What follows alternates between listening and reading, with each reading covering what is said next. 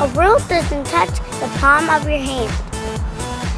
Today's roll is a bow tie roll. Start by putting the baton under your chin. Now put your arms forward like this. Now let the baton go down and back up like this.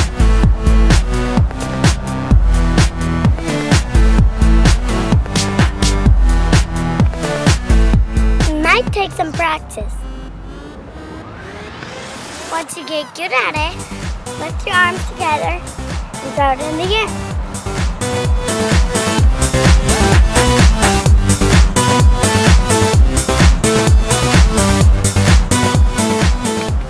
If you get good at that, then you can add it with a clap.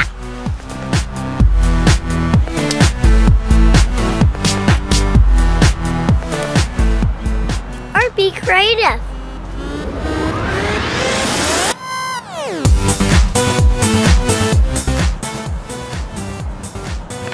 Have fun with the bow tie roll. See you next time.